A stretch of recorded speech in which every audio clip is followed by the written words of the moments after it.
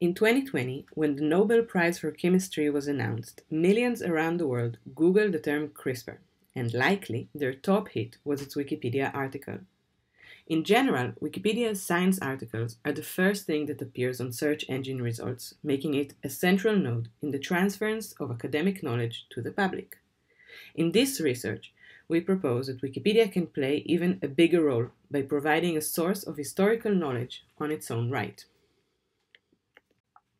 This work is a product of a collaboration between Omer Benjakob, a journalist and philosopher of science, and myself, a biologist trained in the wet lab. We've been working on this for a few years now.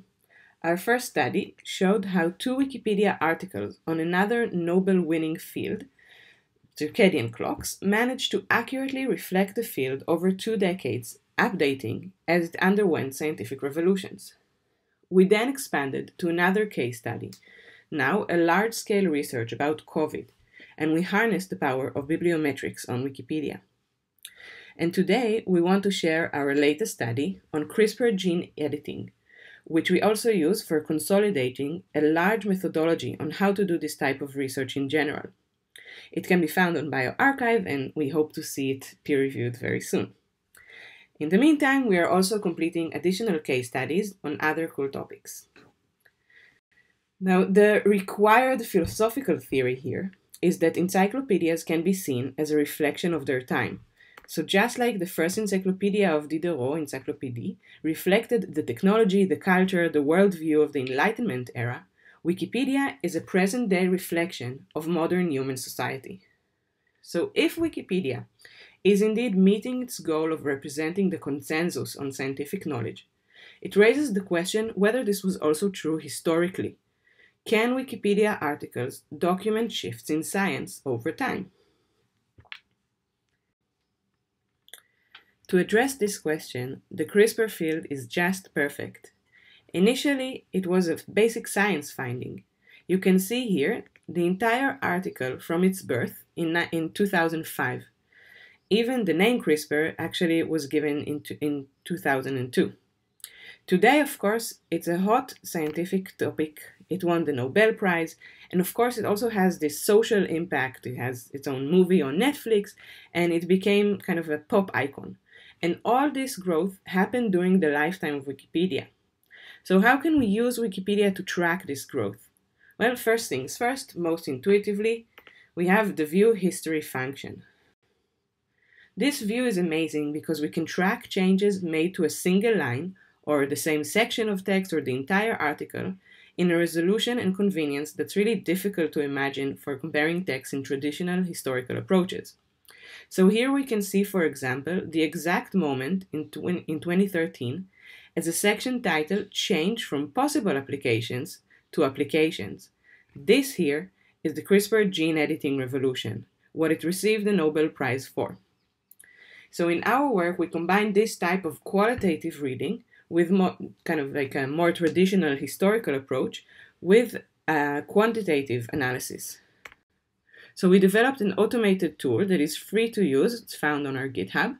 And this tool can first sieve through Wikipedia's massive body of articles to identify a corpus of related articles. So we search for the term, for example, CRISPR, and we return only the articles on Wikipedia which have the term either in their title or that title of one of their sections which is expected to exclude articles with only minor or incidental use of the term. So here, out of 720 mentions of CRISPR, we identify 51 significant articles. This tool also scraps Wikipedia's articles for their metadata, such as the date of creation, the article size, the references. And analyzing this data is then combined with in depth reading of the revision history, like we showed before, um, this is called a thick description approach to contextualize the finding, the quantitative finding, and create a sort of archaeology of the articles.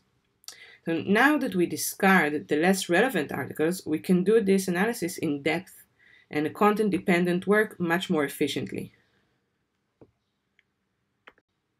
For example, we can create a timeline that documents the growth of the field based on the date of birth of articles.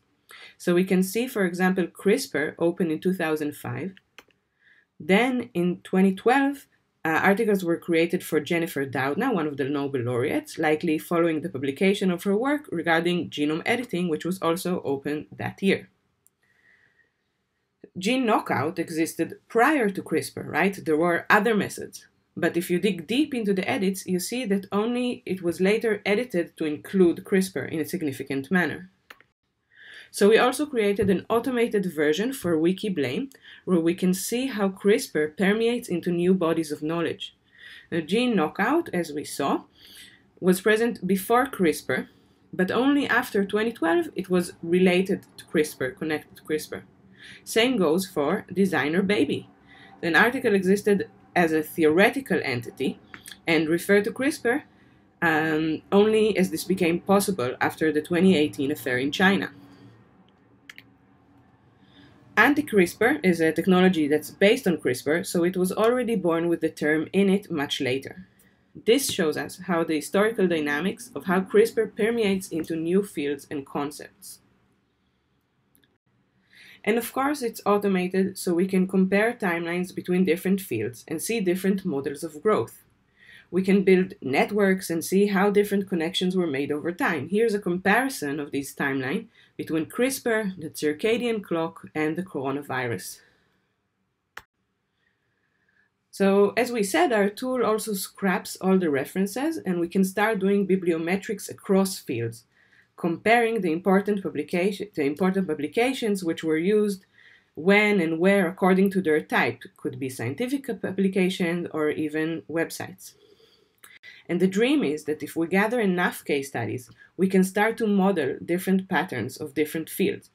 And we treat these Wikipedia articles kind of like living documents, which allow us to perform content dependent archaeology of knowledge in a yet unprecedented resolution and apply quantitative metrics to our analysis. I want to thank my uh, collaborator, longtime friend Omer Benjakob. Of course, uh, thank all our students and our collaborators, uh, the LPI in Paris, and Wikipedia workshop team for the stage, and thank you for your attention.